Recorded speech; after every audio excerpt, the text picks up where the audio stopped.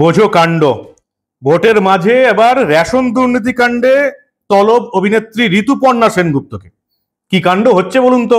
বালু, বাকিবুর, ঋতুপর্ণা, রেশন দুর্নীতি, হচ্ছেটা কি?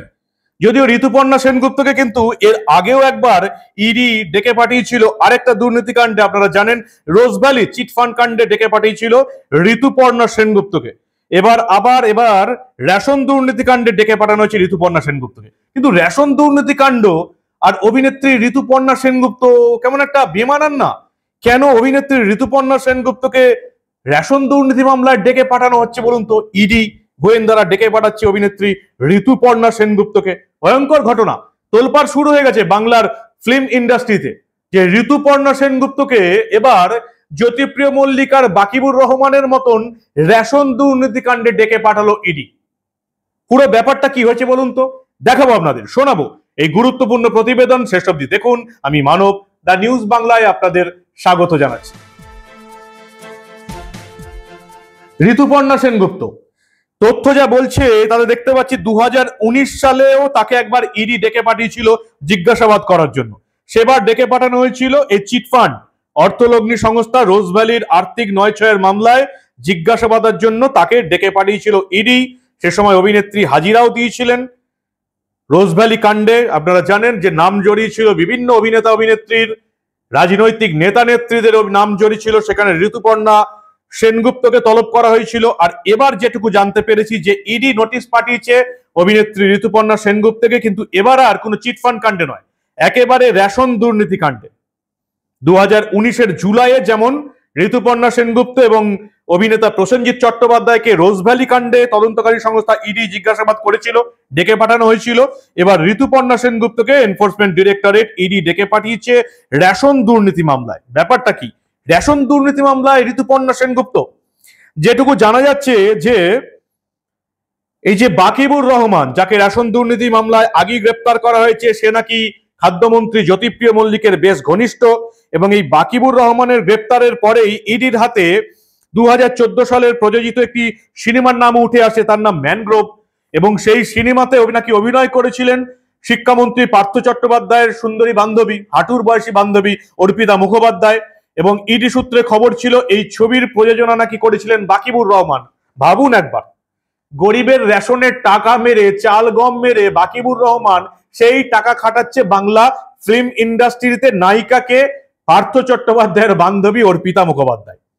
এবং একাধিক নায়ক নায়িকার নাম সেই সূত্রে উঠে এসছে। আপনারা দেখেছেন, বনি সেনগুপ্তকে ইডি কয়েকবার তলব করলেও তিনি কুন্তল ঘোষের কাছ থেকে যে টাকা নিয়েছিলেন সেটা পরে ফেরত দিয়েছিলেন।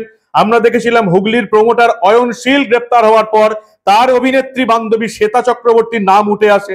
এরপরে নিয়োগ দুর্নীতিতে গোপাল দলপতির দ্বিতীয় স্ত্রী হৈমন্তী গঙ্গোপাধ্যায়ের নাম উঠে এসেছিল, যিনিও পেশায় মডেল এবং অভিনেত্রী ছিলেন। আর এবার এই রেশন দুর্নীতি মামলায় ঋতুপর্ণা সেনগুপ্তকে ডেকে পাঠানো হলো। কিন্তু কেন ডেকে পাঠানো হয়েছে সেই নিয়ে এখনও ইডি তরফে কিছু জানানো হয়নি। ঋতুপর্ণা সেনগুপ্ত তার সঙ্গে রেশন দুর্নীতির কি জড়িত, কীভাবে জড়িত আছেন, কীভাবে তিনি যুক্ত, এই নিয়ে প্রচুর প্রশ্ন উঠছে এবং টলিউডের নাম বিভিন্ন ঘটনায় জড়িয়ে যাচ্ছে। আমরা প্রথমে চিটফান্ড কাণ্ডে দেখলাম।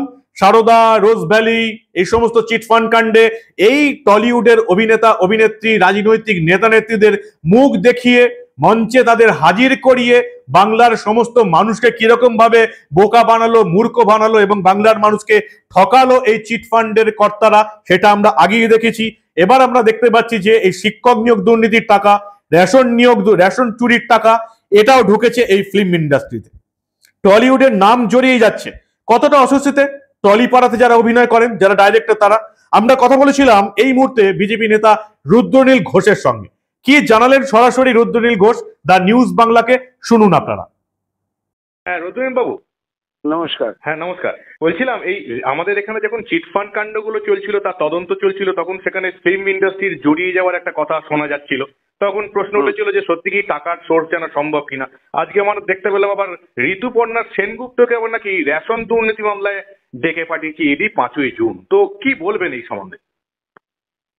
দেখুন প্রথম কথাটা হচ্ছে যে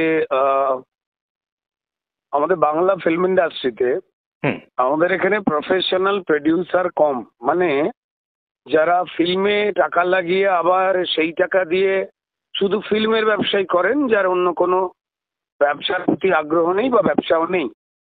এবার বাকি টোটাল যে ফিল্ম ইন্ডাস্ট্রি সেটা এই চার পাঁচ জনের ইনভেস্টমেন্টের উপরে চলে না।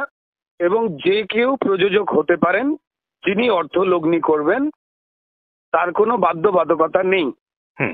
তো এবার সেই ক্ষেত্রেও কিন্তু যিনি অর্থ লাগাচ্ছেন তার অর্থ কোত্থেকে আসছে সেইটা দেখবার মাপকাঠিও আমাদের কাছে থাকে না। মানে ব্যাংকিং সিস্টেম যখন কম্পিউটারাইজড হয়েছে তার আগেই শুধুমাত্র বাংলা না সর্বত্র ফিল্ম ইন্ডাস্ট্রিতে লিকুইড মানিতেই কাজ চলতো। তো ফলত লিকুইড মানিতে তো লেখা থাকে না যে কোন অ্যাকাউন্ট থেকে আসছে কোন লোকের কাছ থেকে আসছে।